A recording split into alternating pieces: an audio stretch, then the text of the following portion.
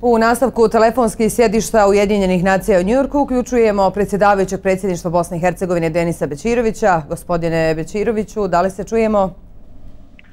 Čujemo se, pozdravljam i vas i sve građanke i građane države Bosne i Hercegovine. Evo odmah po usvajanju rezolucije o genocidu u Srebrenici poručili ste da je pobjedila istina. Šta rezolucija donosi? Smatram da je rezolucija dobar povod za katarzu u cijeloj regiji Zapadnog Balkana. Treba se okrenuti miru i saradnji. Usvajanje rezolucije danas u Generalnoj skupštini Ujedinjenih nacija je jedan visoko moralni i civilizacijski čin Generalne skupštine Ujedinjenih nacija. Smatram da je usvojena rezolucija jednako važna i za Ujedinjene nacije kao i za Bosnu i Hercegovinu nema nikakvog razloga za bilo kakvu euforiju. Trebamo se ponašati odgovorno i dostojanstveno.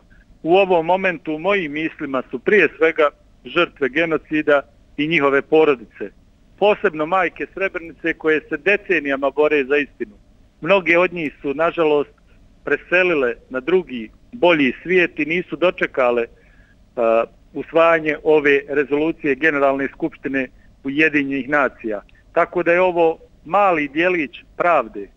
Danas Evo kažete mali dijelić ovdje... pravde. E, kako ćemo prevazići zapravo osporavanje genocida u Srebrenici? Kakve promjene su moguće usvajanjem rezolucije o genocidu u Srebrenici danas u UN? Posle današnjeg glasanja niko više ne treba imati nikakve dileme. Najviši međunarodni sudovi su presudili da je u i oko Srebrenice počinjen genocid nad Bošnjacima. Danas je to usvojeno je od strane Generalne skupštine Ujedinjenih nacija. Dakle, umjesto manipulacija i obmana, danas je Generalna skupština Ujedinjenih nacija podržala utvrđene pravne činjenice i jačala za ono što i piše u ovoj rezoluciji, za jačanje kulture mira i ohrabrivanje pravde, za proces pomirenja u regiji, za institucionalnu zaštitu nasljeđa sudova Ujedinjenih nacija, Generalna skupština je danas glasala protiv politike glorificiranja ratnih zločinaca, ali s druge strane je glasala za prevenciju genocida. Ovo je istorijski dan za državu Bosnu i Hercegovinu, ali i za cijelo čovečanstvo. Također želim vrlo jasno reći da ne postoje genocidni narodi.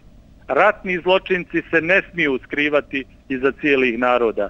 Zato je ova rezolucija velika šansa za katarzu i civilizacijsko raščešćavanje s onima koji su odgovorni za počinjeni genocid. Naša je obaveza da svi zajedno radimo na tome da gradimo mir i prosperitet. Mislim da i Bosna i Hercegovina i Srbija imaju puno politikanata. Treba nam više državnika.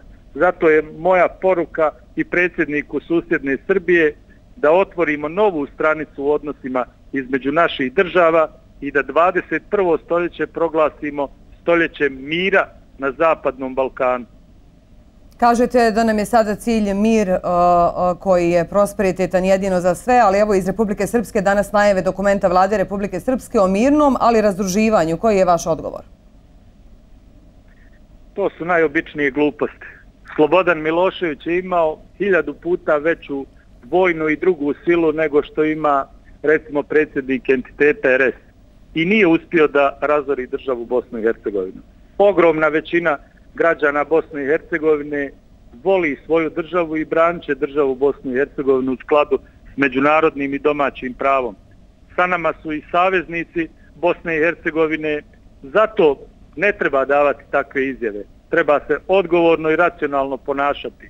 Ne treba negirati presude sudova Ujedinjenih nacija i treba se okrenuti budućnosti.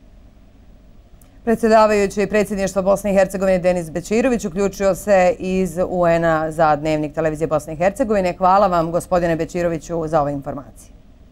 Hvala i vama još jednom. Veliki pozdrav za sve ljude koji vole Bosnu i Hercegovinu.